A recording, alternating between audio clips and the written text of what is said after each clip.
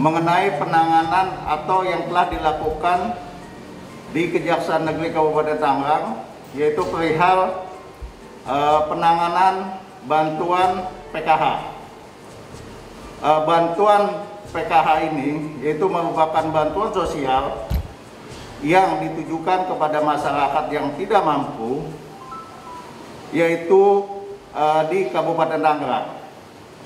Yang telah kita lakukan, kita telah melakukan penyidikan di Kecamatan Tiga Raksa, Kabupaten Tangerang atas uh, penyalahgunaan dana bansos program keluarga harapan. Kita telah menetapkan dua tersangka penyalahgunaan dana PKH ini yang mana dilakukan oleh pendamping sosial.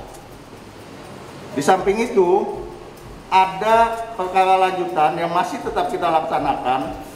Masih ada 8 pendamping sosial karena di Kecamatan Tiga Raksa itu itu ada 12 kecamatan dan ada 12 kelurahan, eh, desa dan dua kelurahan yang kami tetapkan sebagai tersangka yaitu pendamping sosial yang mendampingi dari empat desa yang ada di Kecamatan Tiga Raksa.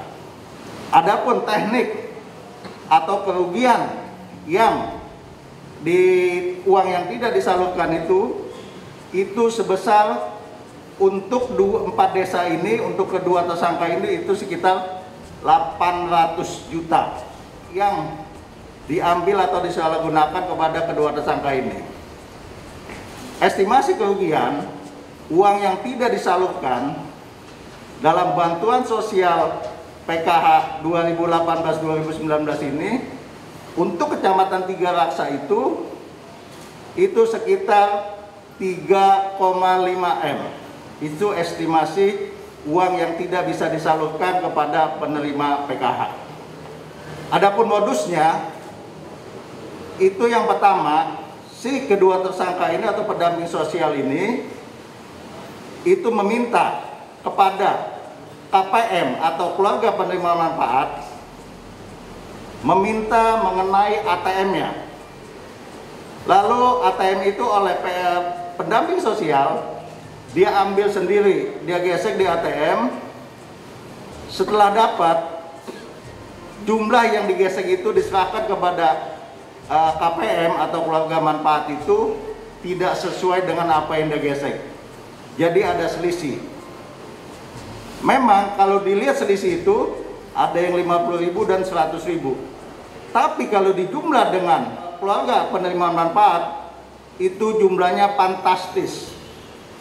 Jadi untuk empat kecamatan, empat desa aja itu uang yang tidak disalurkan atau disalahgunakan kedua tersangka itu sekitar 800 juta. Itu mungkin penjelasan dari saya. Saya harapkan kepada teman-teman yang diberi kewenangan penyelenggaraan untuk bantuan sosial ini, apalagi zaman COVID-19 ini, itu banyak bantuan sosial untuk masyarakat yang ada di daerah-daerah yang tidak mampu. Saya harapkan kepada petugas atau penyelenggara yang diberi uh, tanggung jawab atau kewenangan itu supaya melaksanakan tugas sesuai dengan fungsinya. Karena kami di Kejaksaan Negeri Kabupaten tidak akan segan-segan akan menindak tegas bagi para penyelenggara bantuan sosial yang menyalahgunakan. Saya kira itu, terima kasih. Wassalamualaikum warahmatullahi wabarakatuh.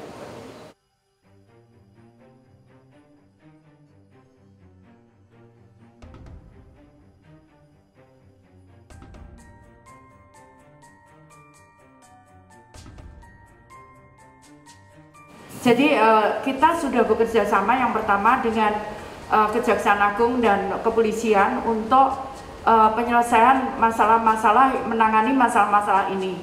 Uh, nah, yang kedua, uh, jadi begini, sebetulnya para pendamping ini sudah menerima gaji. Jadi mereka sudah menerima gaji, uh, dan kemudian uh, artinya bahwa tidak ada alasan lagi mereka kemudian memotong untuk apa pun karena mereka menerima gaji. Sampai saat ini mengenai, mengenai keterlibatan oknum baik di desa atau di stasiun lain itu sampai saat ini belum kita temukan. Tapi kalau seandainya ada indikasi dan ada dua alat bukti permulaan yang cukup, terus juga ada dua alat minimal dua alat bukti, kita sepakat sus Kejaksaan Negeri Kabupaten Tangerang akan menaikkan perkara itu. Terus kedua juga mengenai pernyataan dari Bu Mensos tadi bahwa memang untuk modus pemotongan itu salah satunya itu pendamping sosial itu selalu bicara ada yang berbicara bahwa ini kita nggak digaji. Jadi eh, para penerima KPM ini merasa kasihan atau bagaimana akhirnya di apa diambil itu uang itu oleh pendamping sosial. Tadi sudah disampaikan oleh Bu Mensos Sekali lagi saya sampaikan juga bagi masyarakat masyarakat Indonesia bahwa pendamping sosial itu sudah digaji di, dari Kementerian Sosial dan itu sudah cukup layak. Makanya nanti bagi masyarakat penerima KPM agar tidak mentolerir seperti itu, jangan mengiakan.